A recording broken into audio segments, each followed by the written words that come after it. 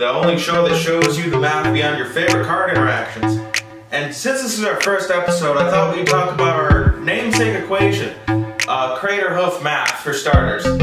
And this math problem is for all the commander players out there, the ones that want to better hide their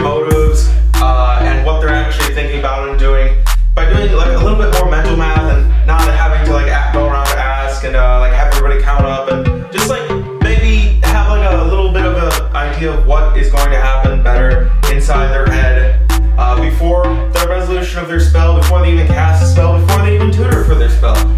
Uh, they can just do a little bit of more, a little more mental work and uh, maybe not just watch the table as closely uh, by trimming down the values that they're looking for and actually isolating things and going through the whole order of uh, how to actually solve the problem of how to kill your opponents. So what we have here is x squared.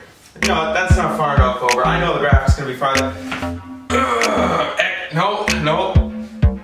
x squared plus TP equals P. There we go. I was definitely off a lot, but don't worry, I can edit that. I'm not to edit that. So let's do a quick example problem for this equation.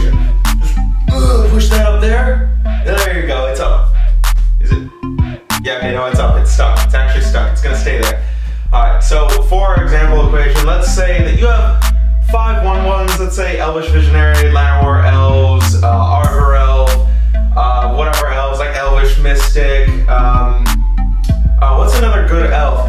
Elf Deep Shadow, or maybe yeah, Elf Deep Shadow is pretty good.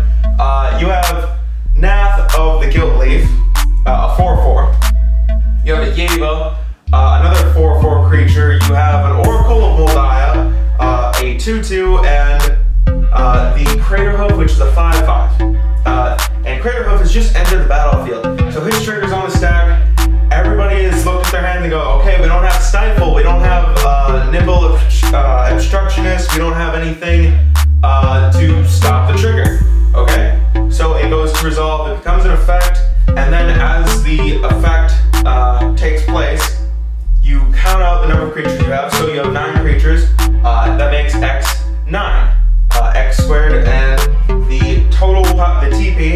total power.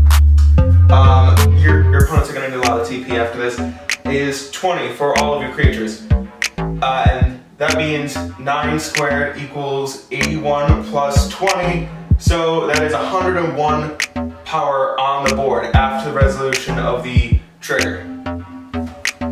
Now, with 101 there, your opponents are pretty much dead. Your opponents are pretty much dead. After this, you should feel pretty well, mm, I don't know, pretty well prepared to go forth and trample your opponents knowing this.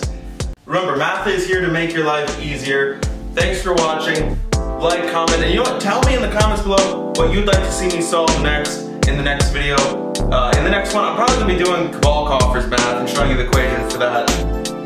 Hint, hint, I'm also going to be doing Urborg and Cabal Stronghold uh, involved in the equation and showing you how things change based on that. Anyway, thanks for watching. See you in the next video.